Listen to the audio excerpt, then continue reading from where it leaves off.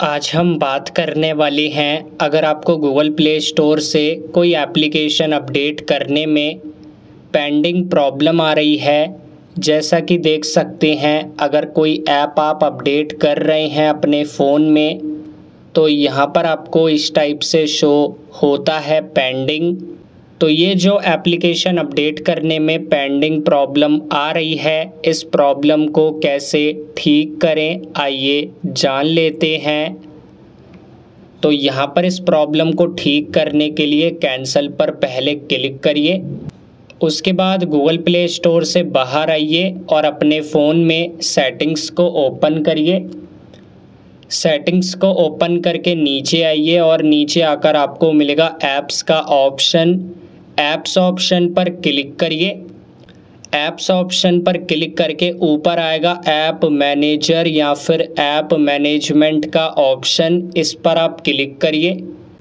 Click करने के बाद आपके फ़ोन के यहाँ पर सारे एप्लीकेशंस आएँगे।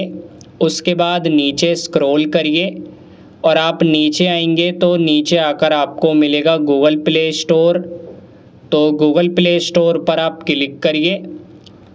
और गूगल प्ले स्टोर पर जैसे ही आप क्लिक करेंगे, आपको मिलेगा फोर्स स्टॉप इस पर आप क्लिक करिए।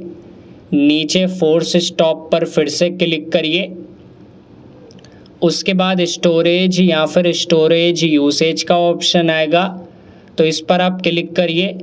क्लिक करके आपको मिलेगा क्लियर डेटा क्लियर डेटा पर क्लिक करिए। उसके बाद ओके का ऑप्शन आएगा तो ओके पर क्लिक करिए।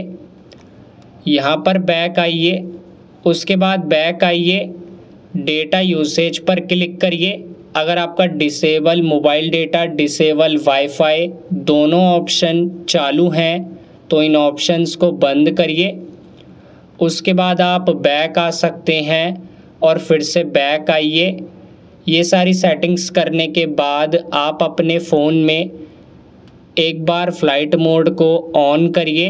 फ़्लाइट मोड को ऑन करने के बाद फ़्लाइट मोड को बंद करिए। उसके बाद अपने फ़ोन को आप रीस्टार्ट करिए, यानी कि फ़ोन को बंद करके चालू करिए और उसके बाद अपने फ़ोन में फिर से प्ले स्टोर को ओपन करेंगे। तो जैसे कि हम एप्लीकेशन को अपडेट करके चेक करेंगे तो अपडेट पर क्लिक करेंगे और जैसा कि देख सकते हैं अब हमारी प्रॉब्लम ठीक हो चुकी है एप्लीकेशन अपडेट हो चुका है तो इस टाइप से अपनी प्रॉब्लम को ठीक करें। वीडियो पसंद आई वीडियो को लाइक करें। हमारे चैनल को सब्सक्राइब ज़रूर करें।